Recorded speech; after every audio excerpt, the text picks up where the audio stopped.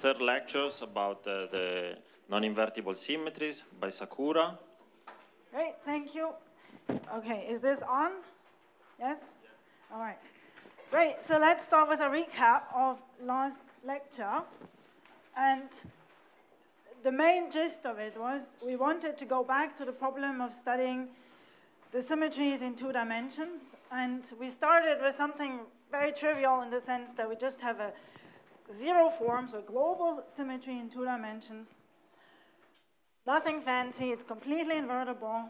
It has essentially topological lines labeled by elements of a group. Let's take G to be finite. So here G is finite. But doesn't have to be abelian, crucially. And it fuses according to the group law. D1G, D1H is D1GH. And then we said, let's gauge this zero form symmetry. And one way of doing that was to actually take the following perspective. And this is, I'm only repeating this perspective because this is the one that we'll use also in higher dimensions. So we take the two-dimensional theory, and we take a product with a one-dimensional topological theory. And this one-dimensional topological theory has the same G0, so there's the same group G appearing here, symmetry. What that meant is a one-dimensional topological theory has a bunch of vacua, and now there's a group acting on these vacua. So the group acting on the vacua will basically furnish some representation of this group. It'll decompose the vacua into some irreps. And we're just taking the product of these two, and then gauge this diagonal, G. And the point was, once we gauge this, this product ceases to be a product. It becomes actually now sort of a topological defect. This is this 1d TQFT becomes now a defect in this theory. And this is now, as before, labeled by representations. And so of, of the group G. And so now if you're asking what actually is the fusion on these guys, well, this just descends from how these 1d TQFTs fuse. These were just representations, and so they will fuse according to one of these defects with representation R1 or representation R2 will be a sum over some integer coefficients here times D1 R3. And just to be very, very clear, these coefficients here are nothing other than the things that you do in your group theory lectures, right? You decompose the reps R1, R2. This is now here the tensor product of representations. And you have a Clebsch-Gordan decomposition into irreps R3, say, with some coefficients, some multiplicities. And you know very well that this is usually not just one term, but it's a bunch of irreps.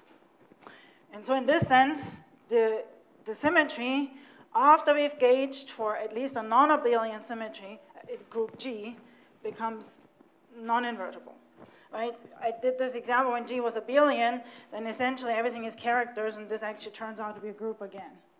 But if G is non-abelian, this object, which I called rep G, is just a representations of G, um, is a non-invertible uh, symmetry in two dimensions.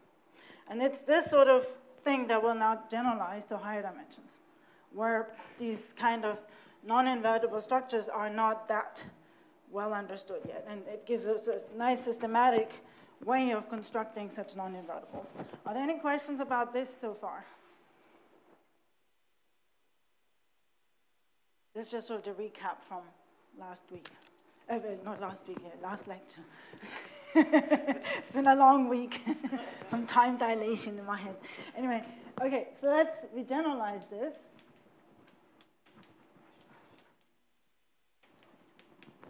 to uh, higher dimensions.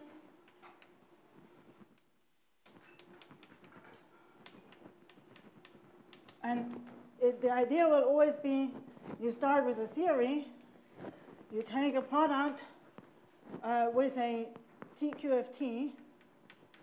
So this theory has some group G0 acting. You can still hear me? Something is not right here. Okay, so this is a TQFT with G symmetry. And I will explain what this is in concrete detail in, in in, in three dimensions. And then what we're doing is we're gauging G, and then this becomes, maybe I should keep this. Uh, so this is a TQFT. In fact, I want it to be a, of dimension d minus 1. And this becomes a dd minus 1 defect. I have a question. Yeah. Uh, so once we are in higher dimensions, uh, while the TQFT that we take the product uh, with uh, should have dimension d minus 1 Uh, and It doesn't not have any to other. be. It can also be of different dimension. Then you will con- construct different types of defects. Here, I will start with a zero form symmetry, and I'm saying, okay, I would like to actually construct, so to speak, the defects that are actually now the analogs of these lines, uh, like the dual symmetry, so to speak. And so this is basically then a d minus one topological defect. You want to know what are actually uh, these types of defects. But indeed, in the, uh, in the paper, and I now try to actually spell my collaborator's last name correctly. This is the correct spelling, pretty sure. Um, and so in this paper, you'll see lots of different things. You can gauge even, you can even have GP, P-form symmetries, or higher group symmetries. And then you have defects of different dimensionality that you can construct in this way. I'll just to make sure I understand, so even keeping the zero form symmetry, can we reduce the dimension of the TQFT? Uh, So you could, in principle, also, for example, in a two, I will do actually the case of a 3D theory, so 3DT, and I could also take a, the set of topological lines and try to construct the rep. And I'll get some lines, and in fact, indeed, I do have these rep G lines in the gauged theory. They're also there. I will get to them in, in a moment, actually. So, uh, in fact, this is sort of the abstract thing, and these things, just to, this is the notation, these we'll call theta defects for the reasons I explained yesterday. Sorry, That's like a theta angle. Yes? uh, are you assuming that G is a non-anomalous in the TQFT? Uh, yes, so absolutely. And can I take like an anomalous uh, symmetry in the TQFT? And in this case, I, I get like a defect attached to, the, to an higher Ah, right, yes. I guess you could, yes, something, some sort of a non-genuine type thing, yes, sure. So I think this is literally just the simplest way to implement this sort of construction, but as I said also yesterday, you can now go wild with this. You can do all kinds of things, even non-topological defects you could construct in this way. Thank you. Yeah. Okay, well, let's get now to the, the three-dimensional. So T, T is a 3D theory with uh, G0. So G0 is generated basically by some topological surfaces, but anyway, this is not important. So now actually what I would like to do is, in this three-dimensional theory, this is the theory, it has this G acting on it. I now take a product with a 2D TQFT that has that has G0 symmetry. And so, and then proceed in the same way. So the first question I need to answer is actually what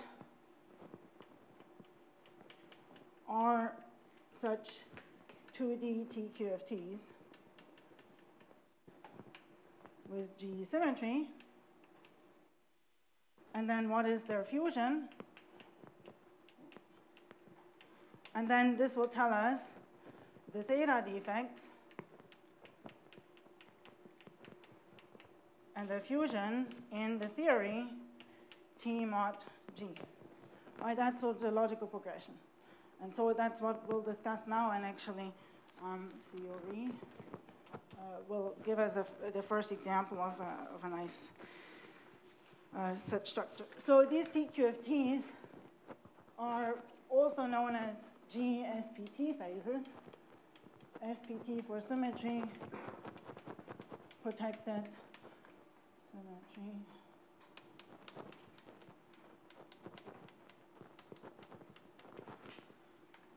Topological phases. So this comes out of sort of a condensed matter literature, really. And they're actually classified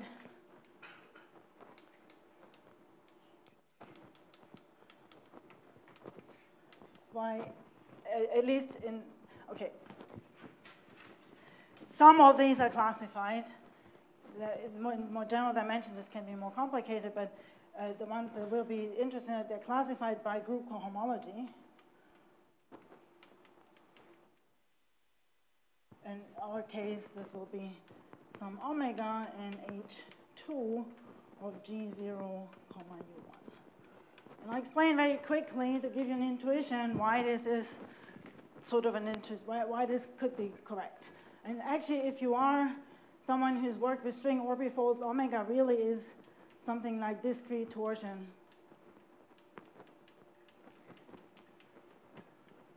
In, in orbifold constructions and string theory, if this is helpful. So one way of thinking about this is, is we've seen we have sort of, we're starting with a G-symmetric theory, so we have some lines, say, that are actually these G and H and GH type lines, and we're trying to actually ask what kind of objects could we attach here? Some phases, omega GH. Sort of, right before we were just saying there's some kind of composition of these group elements and it's just G times H. But now when I want to say actually I can attach a phase here. So some omega in U1. So what are they allowed?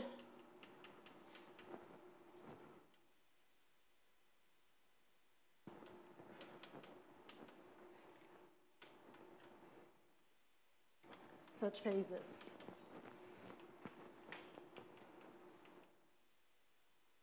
And they, of course, need to be consistent with things that we also looked at, um, like these sort of diagrams.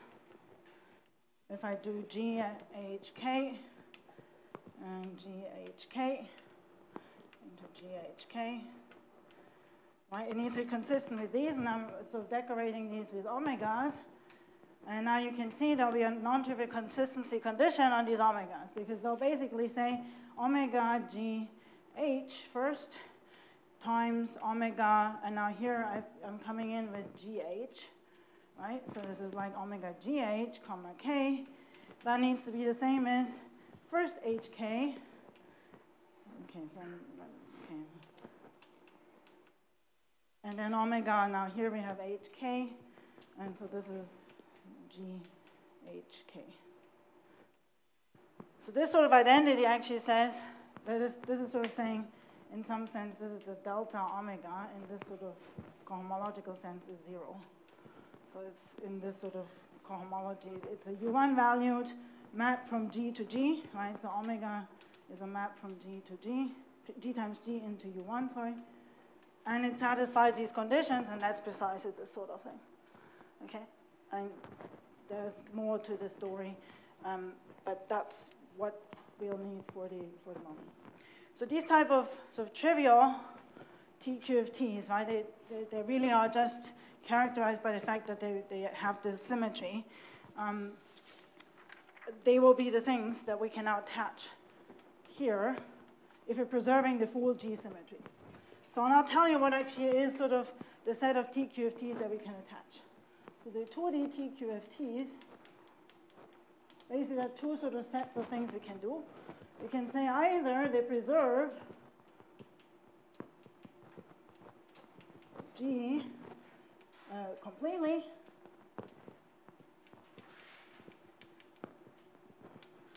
and then there's one vacuum, and there's one vacuum basically for each choice of these omegas, for each H2 element. But we all know if you have a symmetry and you have such a, a two-dimensional uh, theory, you can also now look at vacuum that actually break symmetries. You can have uh, G is broken spontaneously to H, which is a subgroup. This is spontaneous symmetry breaking.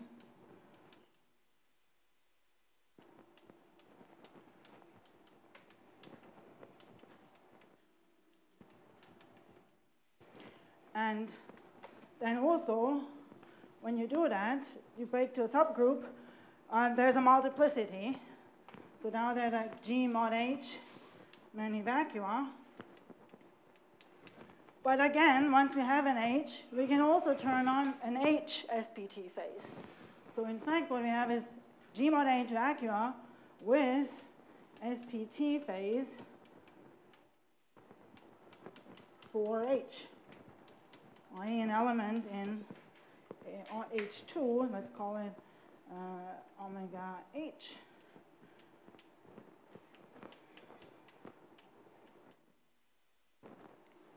And that actually gives you all the 2D TQFTs. And so, lo and behold, what we find is these 2D TQFTs.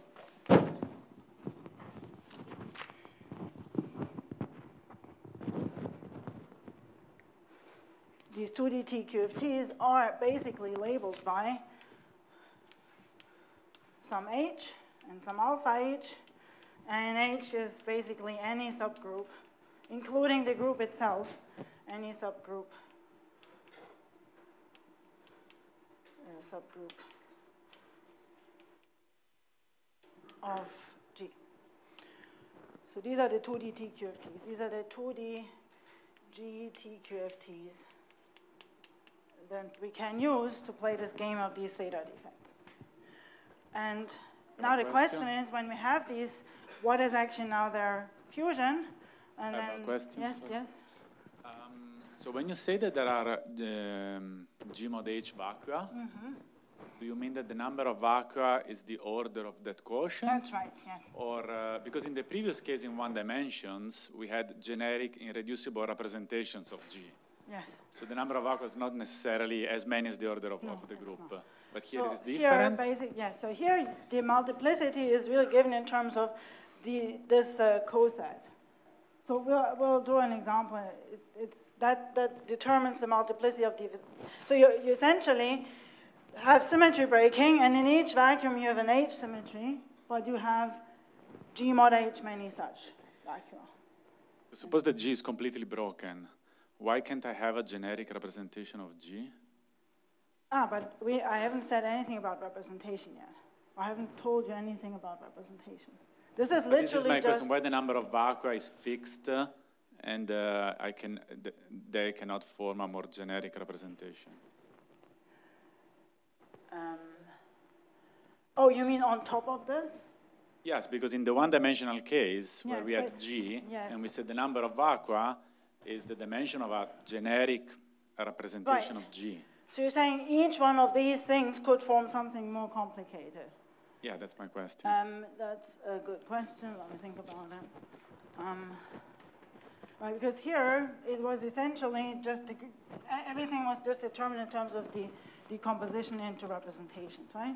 And here I think it's really a statement about in each one of these. So, for example, you could have asked, is there also maybe a choice of different SPT phase?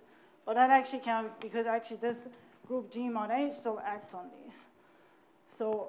Um, you will find in the actual line, so in, in, this, what we're constructing here are these surfaces, there is actually a, representation decomposition secretly in this, which is in the lines. So this is actually happening again on the, on the level of the line. So maybe this is, or it's hidden. Okay, let me, let me think about your question. Thanks. Okay, so we're saying our TQFTs are basically some H, some omega H, and I would like to know what is the diffusion of two such T. So actually what I will do is I will restrict, okay, okay, I, I don't know, okay, yes. I will restrict in this for the moment, in fact, completely to G abelian. In fact, you can do this also more generally, and I think then when you're, what you're saying is completely correct, you could do something more complicated. But even what we'll see is in the G abelian case, there is now also some non-invertible structure. So G0 abelian. Because otherwise we'll get into a little bit of more complicated structure, and this is your point. Okay, so G abelian. So for example, think about it as just a cyclic group, and we'll do Z2 or Z4, these type of examples. So essentially what the, what the, the in this case, gonna put it up here, omega H, tensor now TK, Oh omega K, right? So H and K are both subgroups of G, and they're these cocycles, but potentially attached. So this actually gives just some multiplicity, that's T, H intersected K, comma, omega H intersected K. So let me unpack this and explain to you what is actually this multiplicity. And if this multiplicity isn't 1, then that also is already a non-invertible structure. Right, because this is not a fusion that you could then easily invert or invert at all. Okay, so each of these TQFTs I, think I can think of essentially as, uh, right, we said there's a bunch of vacua, the vacua, V1, V uh, G mod H, and we want to take the tensor product with K, um, omega, omega K, and the vacuum here are say W1, WG mod K order. And so now what you'll get is, in the decomposition, this will essentially mean the vacuum over here just going to be something again like VIWJ. And what is actually the symmetry in these vacua? The symmetry that's unbroken is going to be exactly H intersected K. Right, so you have in one set of vacua H and the other K, and now you'd like to know in this combined set actually what's preserved is this subgroup H mod K, H intersected K. So in fact, you get H intersected K, and then there's a story with the cocycle that actually goes along for the right. But now the question is, what is actually this multiplicity, right? So here. So we get these type of vacua, and now what we have is a symmetry that's unbroken, it's H intersected K. So we start with G, and in these vacuum, we have an H intersected K subgroup. So now we have, of course, a decomposition into H intersected K. So in fact, this number here will be simply sort of a reduction of how many of these you had, how many of these you had modulo the action of this group. So this number here, H intersected K, right, we decompose now all these vacua into orbits of this new subgroup, and that's this quotient G mod H times G mod K.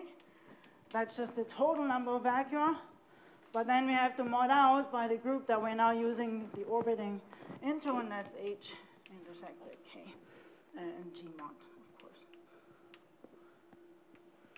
Yeah, does this make sense?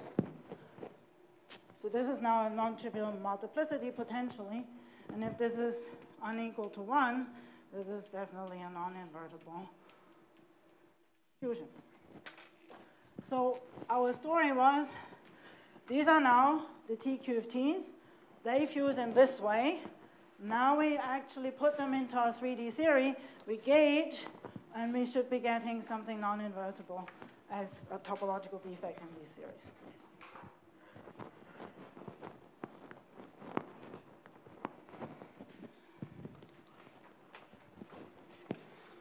Okay. So now we, we basically do the map, H omega H this becomes now defect. In this case, this was a two-dimensional defect, so D2. And actually, it's a little bit more convenient to label it by the coset, comma, omega h, right? And these are now topological to surface defects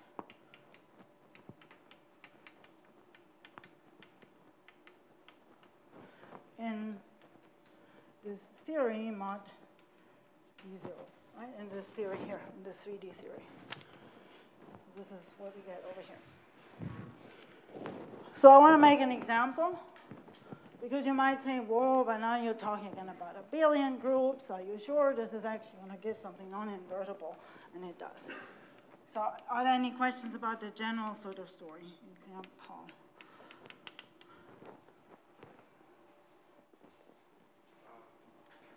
Yeah, Christian.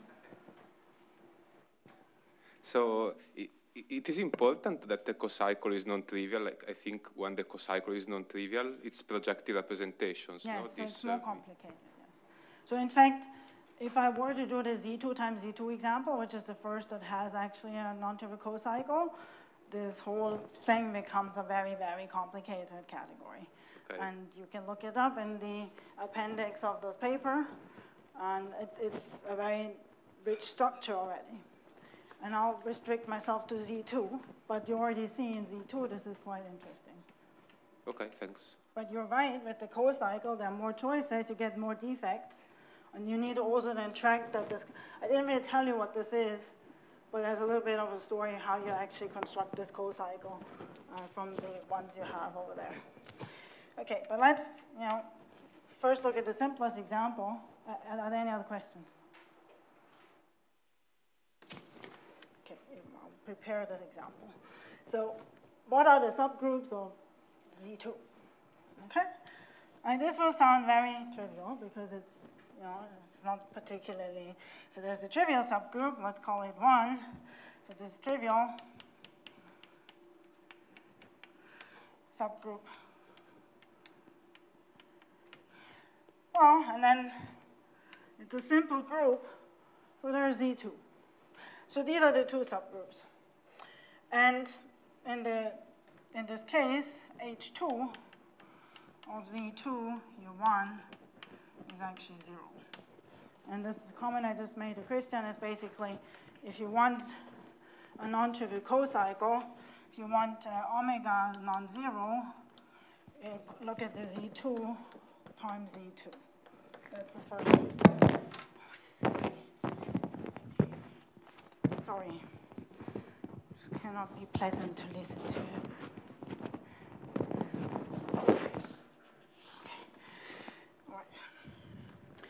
Because I'm too short for this string.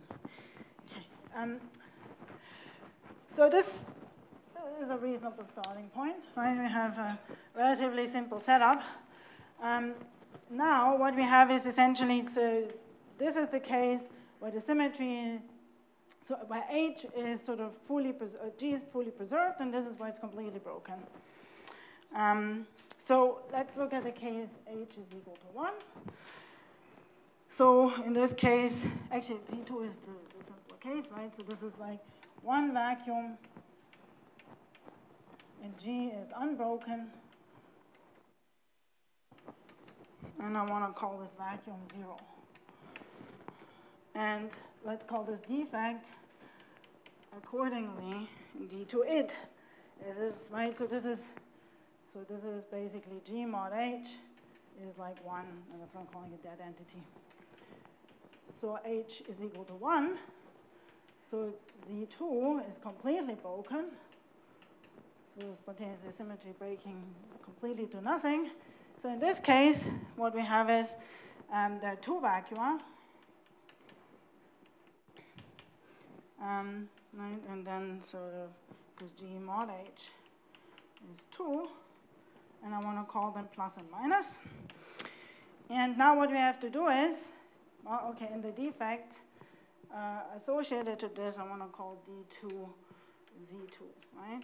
So Z H, this is just that G mod H is now Z2. And now we would like to calculate the fusion of these two defects.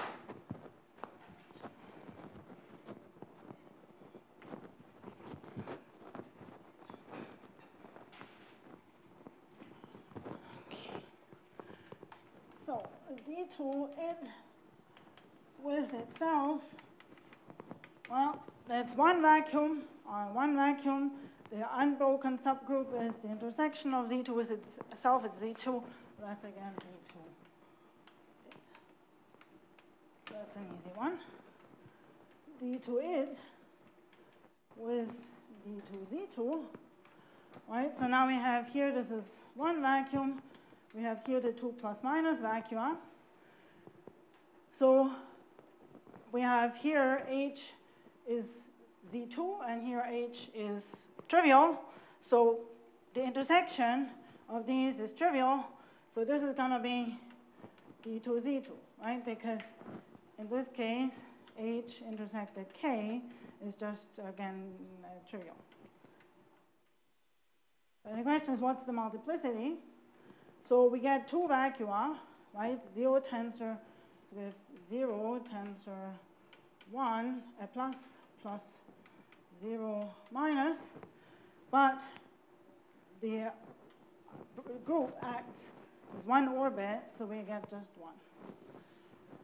And now we also have, so far these look completely boring, these fusions, right? This is all is super, super nice and very invertible looking. Um, now the question is, what is D2Z2 with D2Z2? Remember, this is the one, right, where H is equal to trivial, uh, K is equal to 1, so actually H intersected K is going to be 1 as well. So we get D2Z2. Um, but now we have got here, say, plus, minus, and also plus, minus. And now what we get here is, if you de decompose into these orbits, we get plus, plus, minus, minus, plus, plus, minus, plus, minus, plus, in terms of the vacua. And now, of course, the Z2, the two orbits of these, and we can also just stick it in this formula, but uh, this is uh, 2. Right, so we get two orbits. And they are telling us there's a 2. So this is our first truly derived non-invertible fusion in non-two-dimensional theory.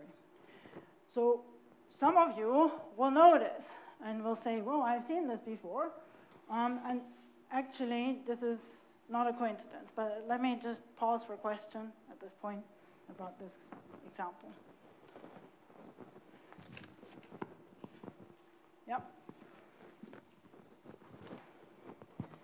So very uh, quick question. Um, so the fusion rules you wrote are, are all abelian in a sense. Uh, does this depend on the group being abelian, or uh, hmm? Uh, does this depend on the group being abelian, or it's just a no. structure that is from you know so the intersections, etc.? Yeah. So here these are all abelian things, but uh, for uh, codimension one defect, there can be non-abelian this type of, you know, what are called triality defects, condensation defects. But here, these are all abelian because everything is just determined in terms of the vacua. So abelian in the sense of the, the order doesn't matter. I mean, here the order doesn't matter anyway, but yeah.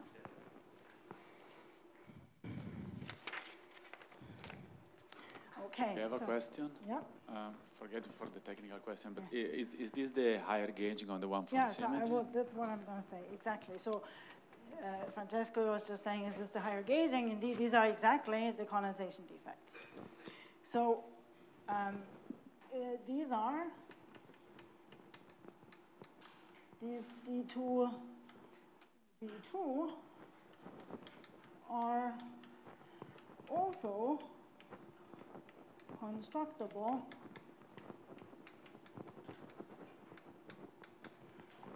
by gauging a higher form symmetry, a one form symmetry in this case, a one form symmetry on a subspace. On a two dimensional subspace, is this still working?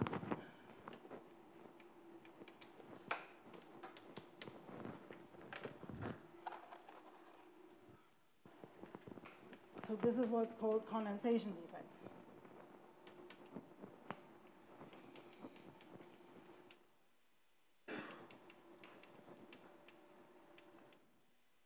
And that's sort of what's been discussed in this paper here and introduced in that paper. And I want to explain a little bit how that all fits together. So we started with a theory that had a zero form symmetry, we gauged it, and then we get these topological defects. Now, what actually we have is a little bit more than that. So we started with a 3D theory, T, with G0 is equal to Z2. And then someone should have at that point said to me, wow, hold on. You told us in the first lecture it's abelian, there's a dual symmetry. So in T mod G0, we have the dual symmetry. Uh, the dual to a zero form symmetry in three dimensions is a one form symmetry. So we have a dual one form symmetry as well, right? So this is Z2 one form. And Z2, this Z2 one form is generated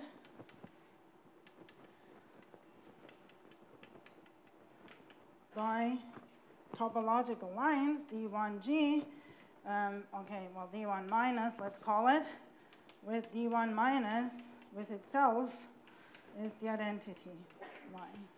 Right, these are lines, topological lines that generate a one-form symmetry that's Z2. So if we now actually take stock, so what, what is actually, what is the full symmetry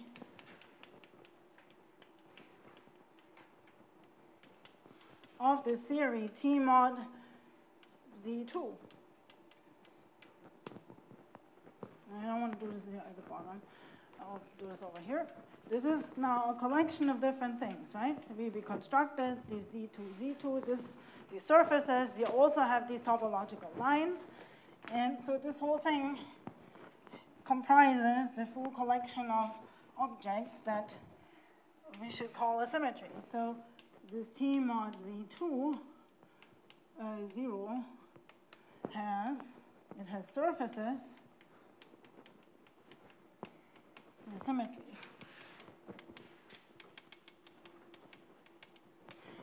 It has surfaces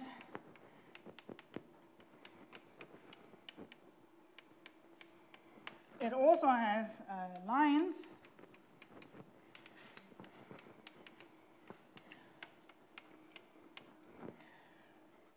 This, has, this is completely invertible, right? This is, this is just group-like, but these here have these non-invertible fusion. And now the question is, and then also secret, you have points. Uh, there, there, you could think of like point-like things on these lines, but they're actually not that interesting in this case for the moment. So what you actually have is this collection of things, and this is now new because in two dimensions, we really had only lines and junctions, so points. Now we have surfaces, lines, and then these points. This is actually the full structure. So mathematically, um, okay, so, so let me answer two things. The first question is, how does this fit with this sort of statement? And the statement is, these surfaces, so in fact, these D2, Z2, we can think of as, we take the trivial surface, and we gauge uh, the Z2 one form, right? So this, these are the lines. This is the one form symmetry. These are the zero form on um, on it. And this is also known as the condensation surface on some M2 or the Z21. So this is the connection between condensation surfaces and these theta defects. So these theta defects give you the condensation surfaces for the dual one-form symmetry. Okay, so the theta defects here are the condensation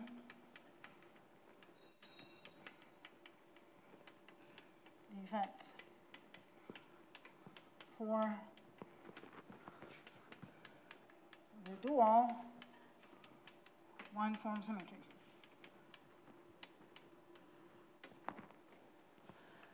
that's the first comment.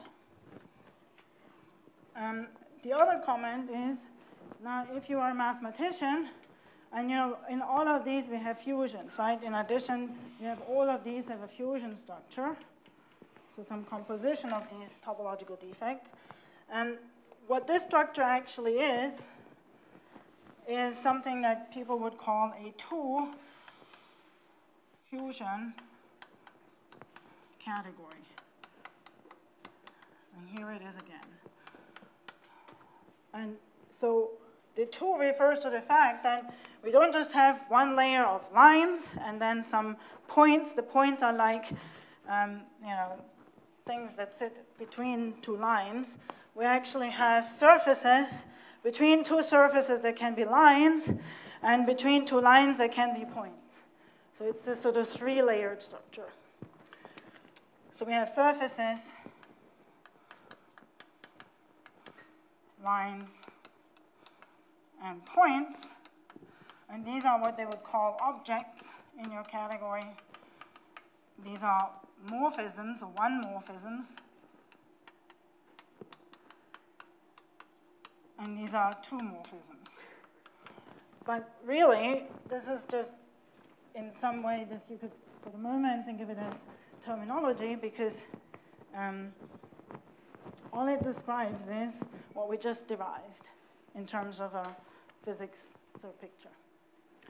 And so I, right, one picture that's maybe useful is so you can think of, you have these D2, for example, D2, Z2, and then you can have topological lines. Actually, let's not specify what, so you have some kind of objects, let's label it by A. You can have two of these. And then there's a, a topological line here, D1, AB. D1, A, uh, AB prime. And then here there's a D0, that is a junction between these two topological lines. And I think maybe this is the moment when the color is coming in handy. So you have these here, and you have a line here, and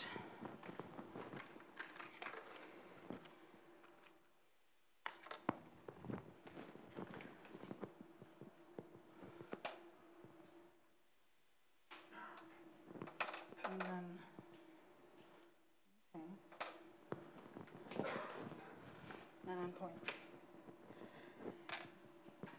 Okay, so the, in particular, um, this specific thing we constructed is a, in particular, uh, the when we started the three-dimensional theory, T with G0, remember in two dimensions, I just said this, let's call this your vec G. It's vector spaces graded by G. These are just topological lines labeled by G with G group fusion. So in three dimensions, in analogy, these are actually these D2 G surfaces, right, that we started with, that were completely invertible. And they're lines, and they're actually the lines, D1, G, and points.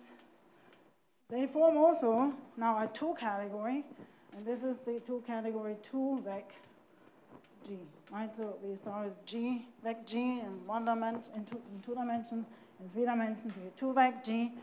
Now when we gauge this,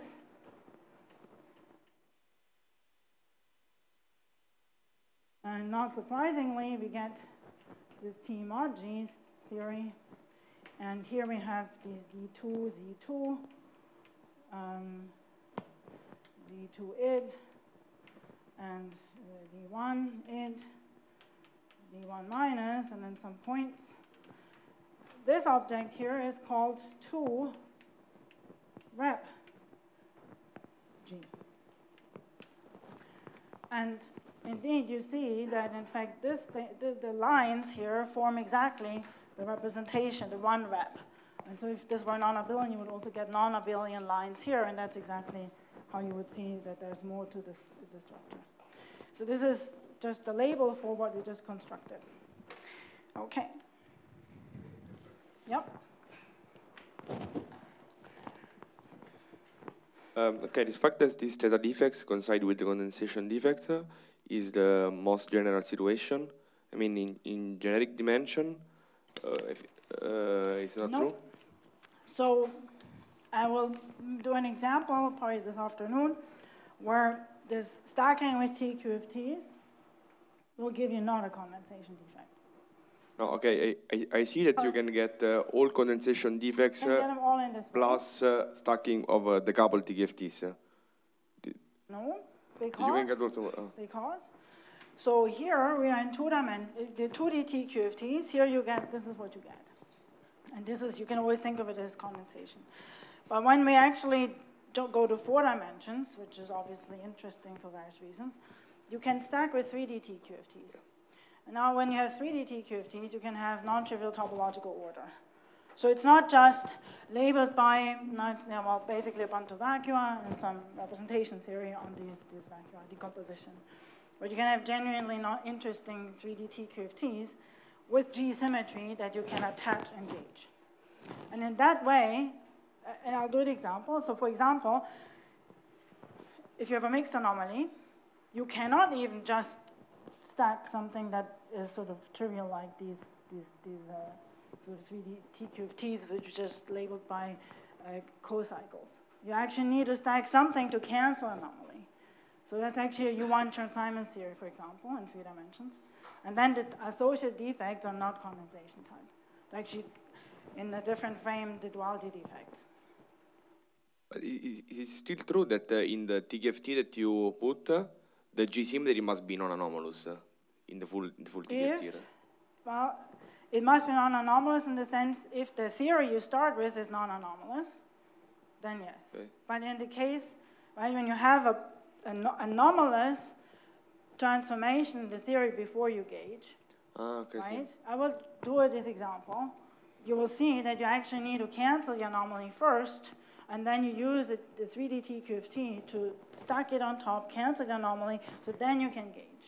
So the, the bulk is working like an inflow for That's the right, TFT. yes. Okay, but that's going ahead. We have um, another very question. quickly. Yes. Uh, sorry, Yes, yes, when we gauge uh, discrete symmetries, usually we get also the magnetic symmetry on top of the electric one, which Yes. is, I think, the lines that you constructed. Uh, Are you you mean to- this, this, the dual symmetry? There is the dual symmetry and also the magnetic one usually. Like if, if I gauge a Z2 symmetry, I get two, two Z2s after the gauging. one is uh, generated by the Wilson lines and the other by the... Yeah, but then they're, they're not genuine, right? well, Yes. I mean, they have stuff attached to them. So I really here I'm talking about symmetry generators, they're topological defects that are genuine operators. For example, if I gauge a Z2 symmetry in a trivial theory, I get a Z2 gauge theory which has two, two symmetries, no? One, a Z2 electric and a Z2 mag- magnetic. Then, okay, if I add matter, maybe some, some symmetry can be broken, but generically, I think uh, Yes? bo- both two, no?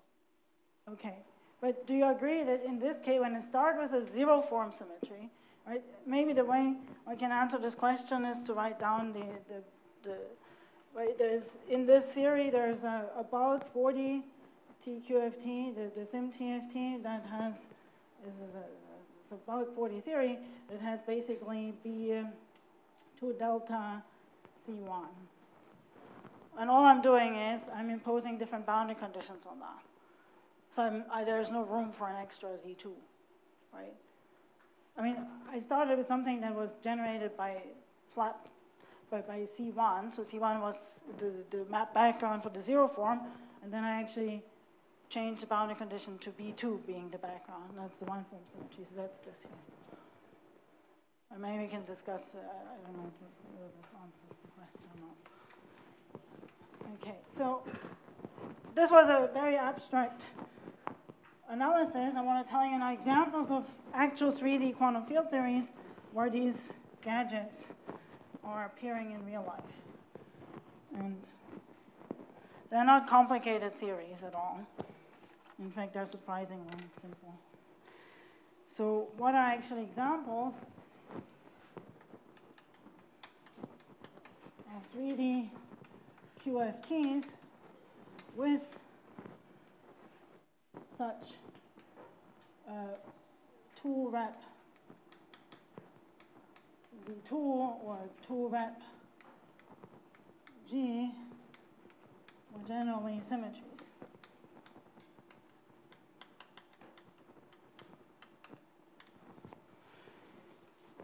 Um, so the, for Z2, for G equals to Z2, we can start with a zero form symmetry, and in fact, uh, the if I have the gauge group, so I just take pure G gauge is equal to SO3, and then I'll go to G gauge is equal to SU2. Um, Yang-Mills, and it's not that this is the most interesting three-dimensional theory to look at, but it gives you an idea of what actually the type of theories are where you would see these things. And in four dimensions, they'll be interesting, actually, theories that I'll discuss too. So these are pure gauge theories. This one has a Z2 zero form symmetry. Um, so this is, has a two vec uh, Z2 symmetry. And when I gauge, I get a Z2 one. And all these condensation defect also. And this is the two rep Z2. Right, and one way of seeing this is this SU2 has a one form symmetry. It's just a center. This is just a center symmetry.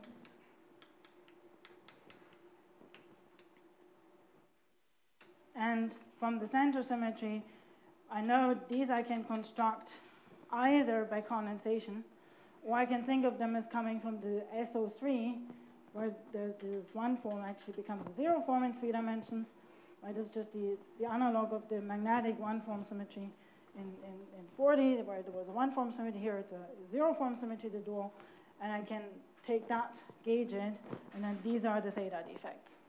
Right? So you can think of these as the condensation defects.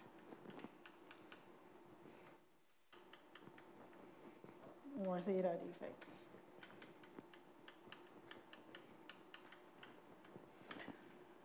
And of course, you can extend this to other things. So, in, for example, um, more complicated examples, which have also symmetries that are a little bit more interesting. So, for n equals to, if you do SUN, um, you have a um, Zn one form symmetry, and so actually what the full category is is actually two rep of Zn. This is the symmetry. And so now you have these, these um, defects. Here we construct the Z2, but you can repeat this for Zn, um, and then you get, again, non-invertible defects for that.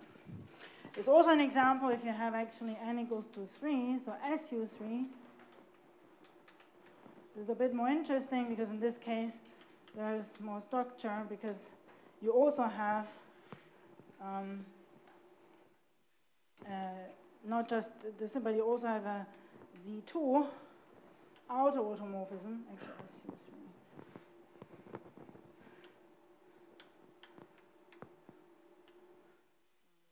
Zero form symmetry, and you can combine this, and then you can get actually something like that S3. So that's a more that has topological lines that actually are forming a representation of S3. So these are examples of QFTs that actually um, have these sort of condensation or theta defects as symmetries. But that's just one class of these type of things, and actually it's, it's interesting to ask, are there actually also um, non-invertible symmetries in, in QFTs that are not of this type, not of this condensation type? When do I actually have to finish? In 20 minutes. Okay. Thanks.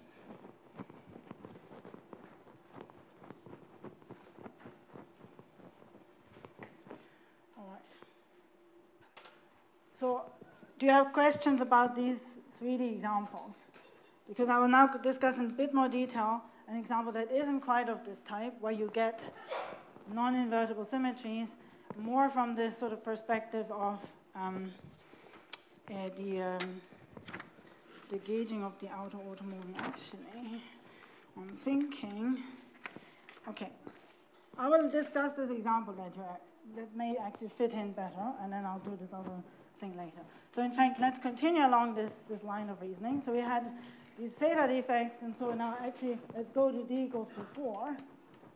Right, so we do care about four-dimensional quantum field theories.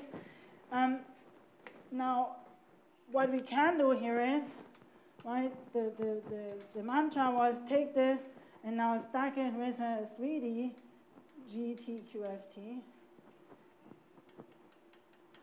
Um, or something more, and more, so 4D theory, and gauge this. And that we can perfectly well do. Uh, the issue is just, so 3D TQFTs are um, more complicated. That's sort of an understatement, but. Um,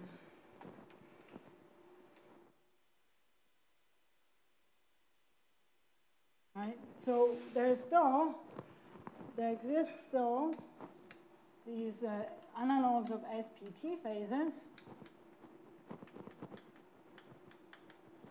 for so GSPTs, and they're again sort of in omega now in H3, G, U1, but they're also they're genuinely non-trivial. Um, 3D TQFTs. And so these go under the name of 3D topological order. And uh, a lot of condensed matter theory is about you know, understanding these better and maybe measuring them in the lab. And so then they're characterized by categories themselves, and these are these so-called modular tensor categories.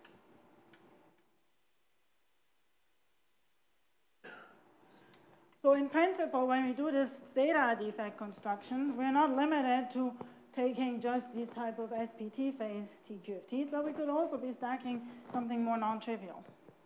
And in fact, sometimes we need to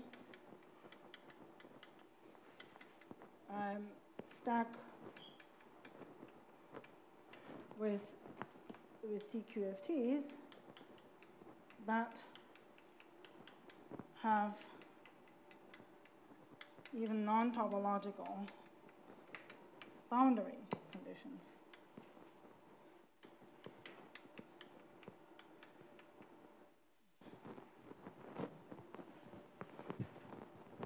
So if this is obscure, I'll explain in a moment what this is, non-topological boundary conditions. So for example, uh, Chern-Simons theory for some group G with some level K, and the boundary, if I put them on some space M3, where the boundary of M3 is sigma 2, we all know that this gives actually a chiral CFT. That's a CFT 2, WZW at level K, for example. So sometimes you actually even need to do this. And so there's obviously something non-trivial living even on these the boundaries of such theories. And that's very different from these type of SPTs that are relatively trivial in comparison. And I'll give you an example that's an interesting physics example that also illustrates that there's a much richer structure in terms of what we can use in terms of constructing theta defects, um, or what we call twisted theta defects, because these are, they would call these things, this will give rise to theta defects, theta or condensation.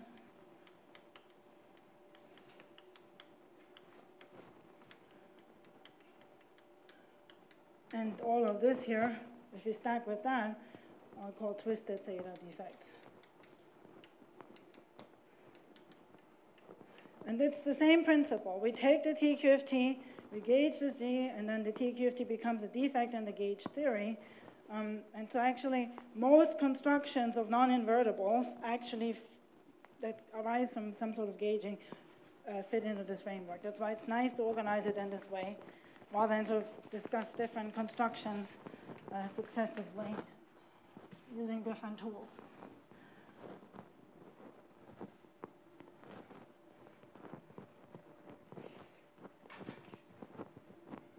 So the example I want to discuss um, is uh, the example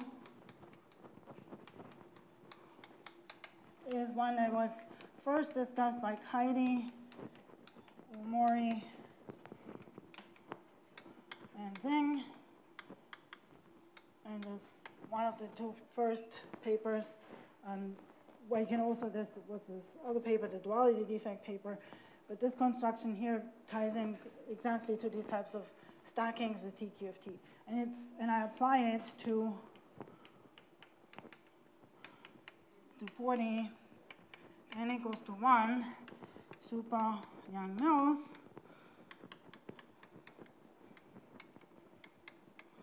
Um, we'll say with SU2 gauge group or uh, gauge algebra, SU2. And that's a theory we should all care about because it has, right, so it's known that the SU2 group theory, that actually has very interesting, there's confinement in the IR and a very interesting vacuum structure. Um, so what actually characterizes this theory, um, actually let's start with the, the group SU2. Uh, this theory is, it's supersymmetric, that's only relevant for the following fact. So 40n equals to 1 supersymmetry implies that you have a U1R symmetry. But this in this case gets broken um, to an anomaly to the Z, Z2n zero form symmetry. So this is a zero form symmetry in this theory. Um, and it also has a center. So actually, I'm doing it for n. So let's do it for SUN for a moment. So, and it has also a one form symmetry that's actually quite crucial for the confinement, uh, which is the end. And these two symmetries are global symmetries, and it also has a gauge symmetry, but we don't worry about that too much. And these have also a mixed anomaly, mixed 't Hooft anomaly.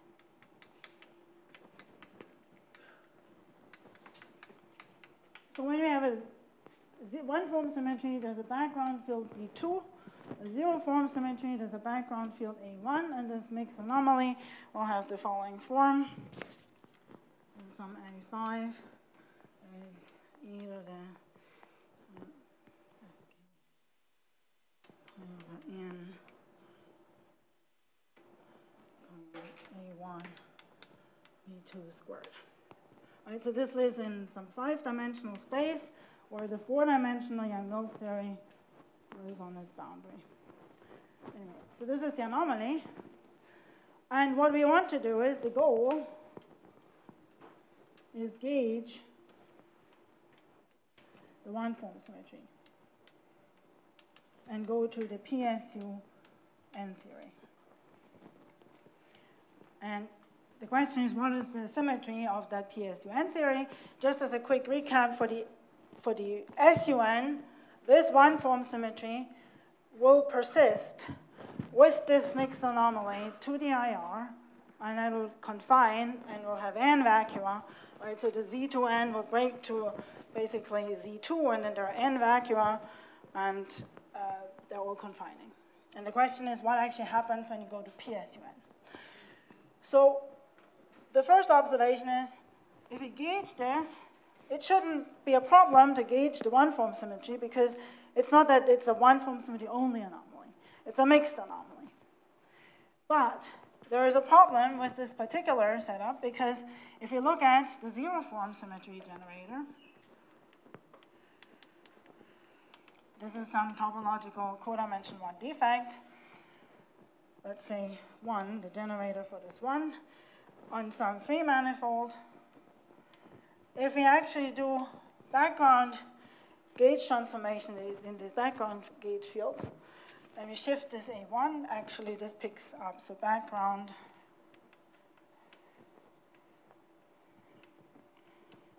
gauge transformations, then what happens is actually, because A1 goes to delta lambda, this, however, is non-trivial, this actually picks up a particular term, so this goes to D3 um,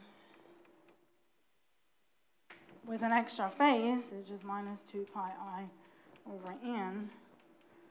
B2 squared. And now M, this is over an M4, and this is sort of M3 with an M4 attached. And that's not good. So you can't just gauge the symmetry. So there's, from the perspective of the zero form symmetry generator, there's some anomaly. There's some anomalous background gauge transformation. So um, when you actually now gauge the one form symmetry, this will not be a healthy defect anymore. So what we need to do is, um, before we gauge, we actually need to cure this transformation, this anomalous transformation of this defect. And, well, we just learned we can, before we gauge, stack TQFTs. And so now the question is, can we can cure this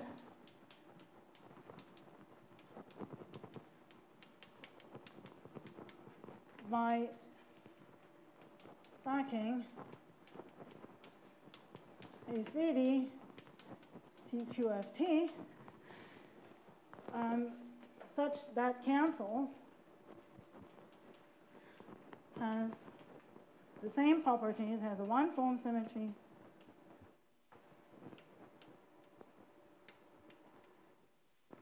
and an anomaly. Which is basically this uh, 2 pi over n b2 squared anomaly. Right, I told you there are, in three dimensions for the one-form symmetry there are these b2 squared anomalies. So I can stack something that has precisely these properties, a 3D QFT on top, and then gauge, because then this uh, variation just will cancel out. And in fact, in a very nice paper, um, Hsin, Lam, and Seiberg, essentially in 2018, classified what are the minimal TQFTs in three dimensions that have a certain one-form symmetry anomaly and a certain uh, one-form symmetry and a certain anomaly. So they classified. So the minimal 3D TQFTs with one-form symmetry and a given anomaly.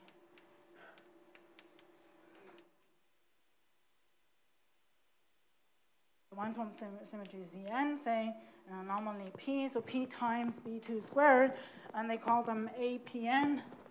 And for all purposes, we just need AN comma 1s. So they're called AN comma P. So for N, Zn one form symmetry, and P is the, the anomaly that you have. And so what we need is, we need for this defect that generates this one for zero form symmetry, we need the an comma 1. And in fact, they also showed the fusion of these, right? We also always need the fusion of these TQFTs. These fusions are actually very simple. So 1 an comma 1 is a n comma 2, a n comma 2 when n is prime. And please don't ask me what it is for n not prime. let's stick to n equals to 2. That for all purposes is a prime number. And now we can ask for SU2, what actually do we get now? So we take the defect D3, 1, and we just replace it um, with a defect, let's call it curly D3, 1 on the same 3 manifold, which is just D3, 1 times this A2, comma 1. For, for SUN, you would stack it with SUN, comma 1. And this object now has precisely, and I should have said there is a, here there is a minus, so it should have precisely the opposite anomaly, right? And so this actually cancels precisely this anomaly. So this has no anomalous transformation.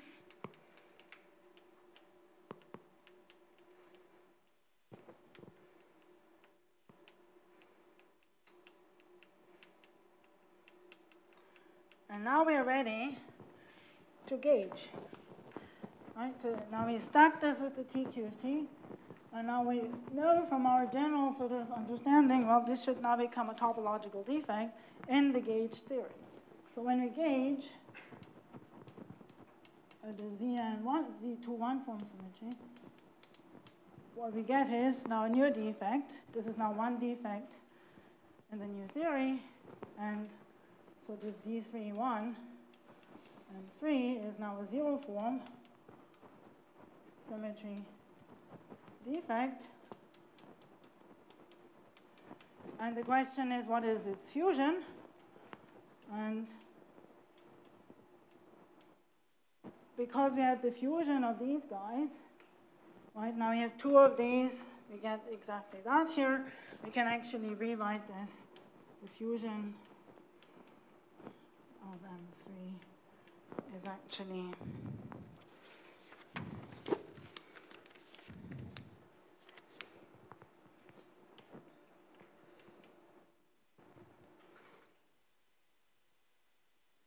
so I can actually write it down for the n case if you want. Uh, if n is prime, uh, maybe you would like the form, it doesn't matter.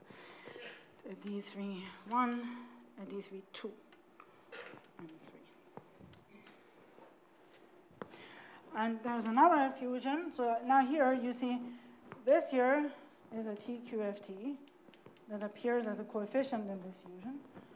And then there's the fusion of the defect with its uh, conjugate.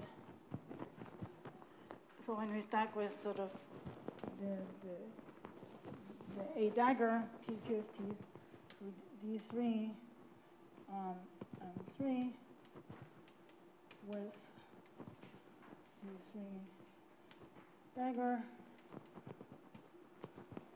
And this actually turns out to be the condensation defect uh, on M3 of the dual one form symmetry.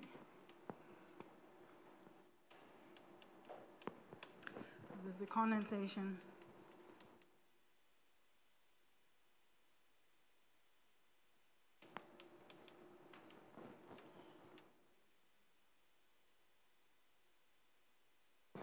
Okay, so we get in the PSUN or the SO3 for the n equals 2 case, now these zero form symmetry generators and have these non-invertible fusions. So the more generally the PSUN, pure n equals to 1, super Yang-Mills theory in 40 has sort of non-condensation. So these are right. These are twisted theta. They are really these TQFTs, right? These are oh, okay. Um, no one asked me what the hell is the theory. Um, this is actually very simple. In this case, it's just a U1 level n Chern-Simons theory.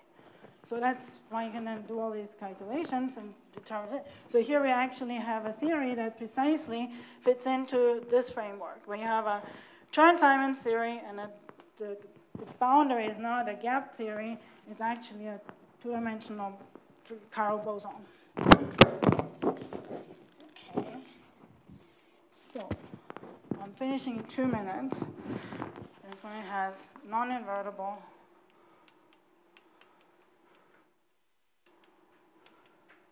symmetry, which is basically either coming from this perspective of this anomaly, and these are basically what you could call these twisted thetas.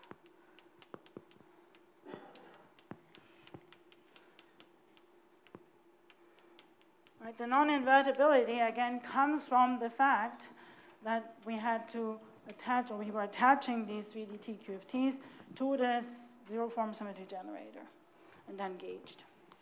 So this is sort of the theme that goes throughout all these constructions, that there is some sort of uh, non-invertibility that comes because of the, um, the structure of these TQFTs that fuse in this sort of peculiar fashion. Okay. Are there any questions? One minute for questions. Yep. This is now ex the example that I was referring to when you asked earlier.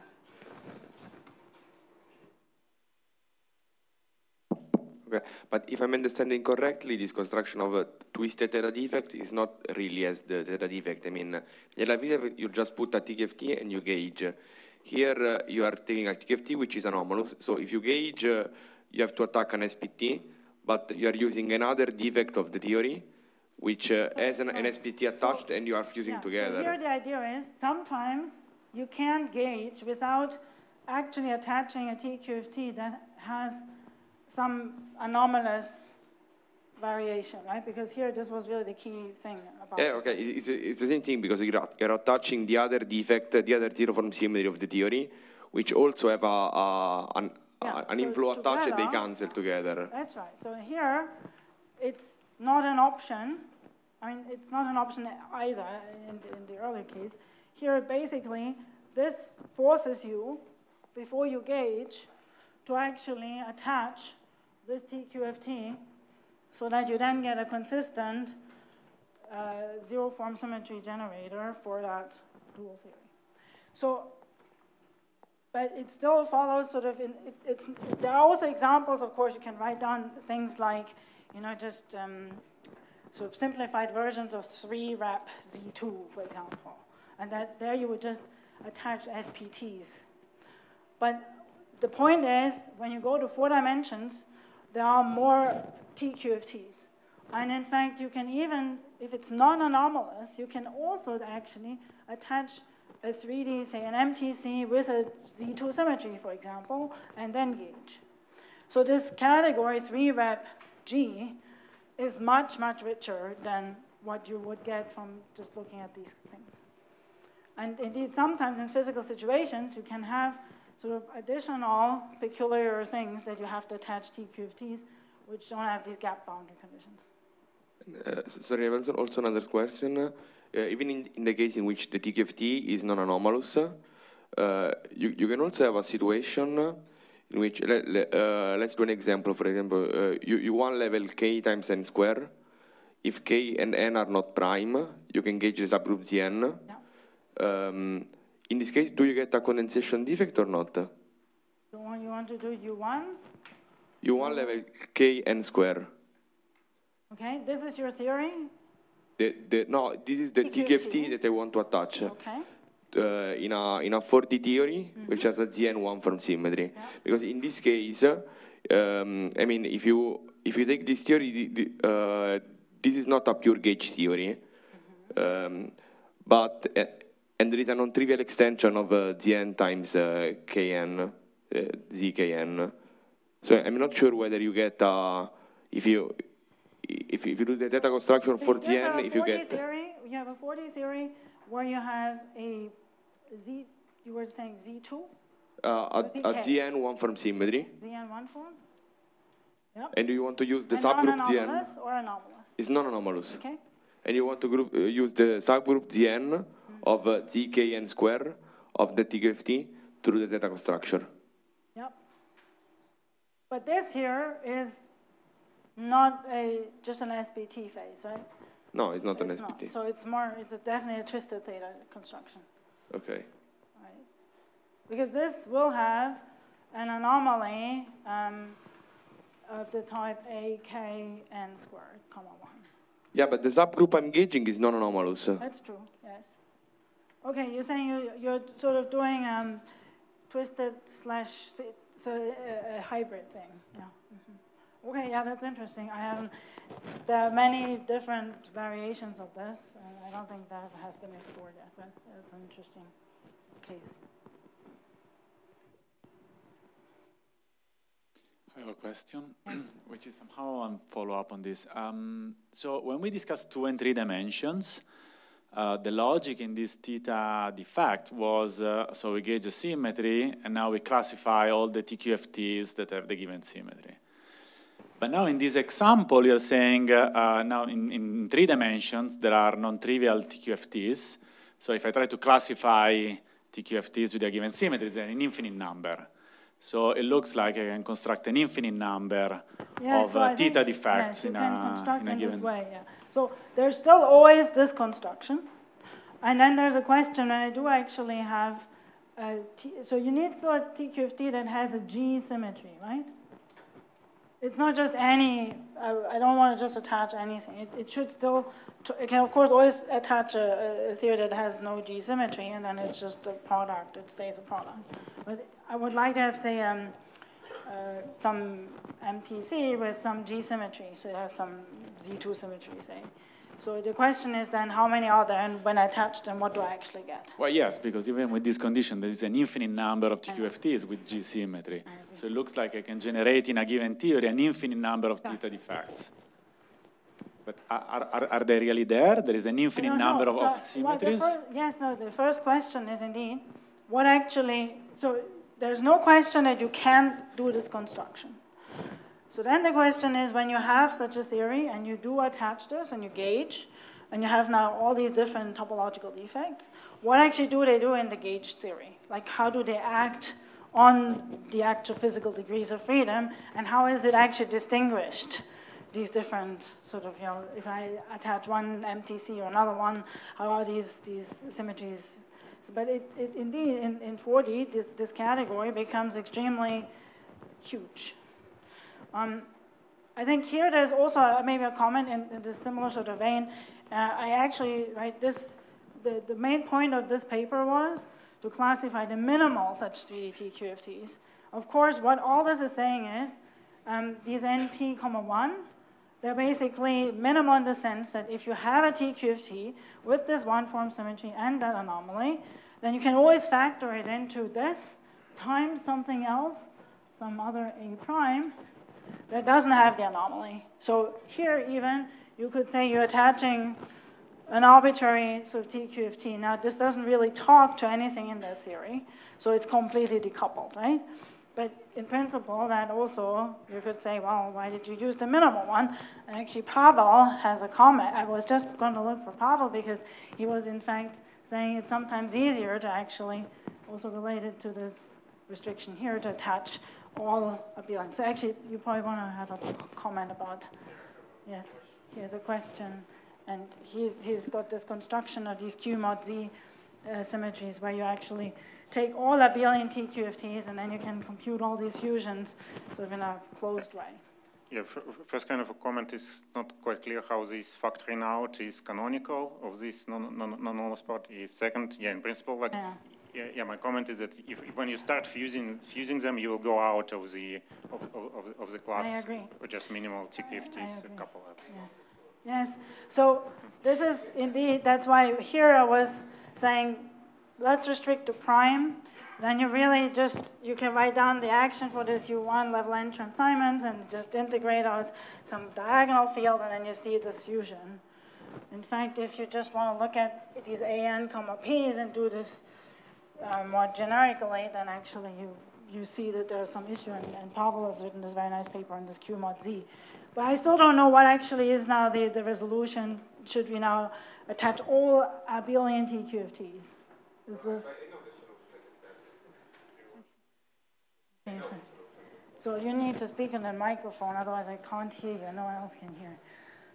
So uh, the thing is that uh, the, the symmetry G, no, has to act faithfully. I mean, it can, if you Which symmetry the, the G zero form symmetry, no, if you put any TQFT, will not act faithfully on the full TQFT, no, will will leave some operators invariant, no.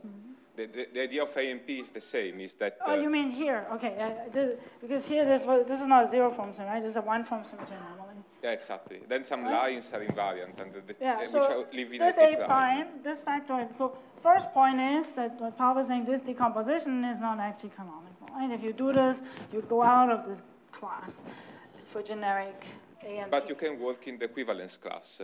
That, that's a well-defined object. Yes. So it's uh, it's called the wi- Witt Witt uh, class. Yes. Mm-hmm. So you, you can you can work there, and then it's well-defined. Yeah. And I think the point, uh, I mean, this is how, how I understand it, is that uh, if you kind of factor out or you choose a representative in which the symmetry acts faithfully, like in in this case, it's separating A and P. I don't know what is in general the way in which you choose that nice representative. Then you can do everything, and uh, any data about the decoupled thing is undetectable from the bulk, so it's not physical. I mean, I don't know how to Yeah. measure it, no? That's true, but Um, it's, yeah, what, okay, so, actually, this is maybe the right moment to make the following comment. So I think this came, this came up yesterday, when, when I think Chris was asking me, so when did this all happen? So this, all of these developments, basically, um, well, they sort of started with this paper mentioned yesterday by this uh, swampland people, then this in, in, the, in 2021, in the fall, this paper and also the Cordova, Ohmori, Choi, Lam, Hsin paper came out. And so this is a very, very young field. And so some of these questions are not yet as, there are loads of examples, and one goal is to actually understand them in a slightly more systematic way, right? And one of these questions is, so can you actually put them into sort of one story that we have a description that sort of gives you mathematically, but also sort of uh, on a more conceptual way, a description of all these non-invertible symmetries. And it's clear we don't have that yet in higher dimensions. And one reason is that these these, uh, what we get here are three categories, three fusion categories. They're very, very complicated objects. We don't really know the full structure of them. But exactly these sort of questions, right, will at some point hopefully tell us what are the things that we really should be sort of, you know, taking into account what is physically relevant, right? Like what you're saying, this Witt class. We shouldn't be looking at each defect, but maybe some equivalence class of these things. But that's all really part of everyday research at this moment. That's, I think this was not clear to everybody. That's why I wanted to at some point say it. Now it seemed a good moment. I think now we're really over time, no? And now we are already in the discussion Oh, we're session. in a discussion session, okay. okay, but then I think people should also ask questions.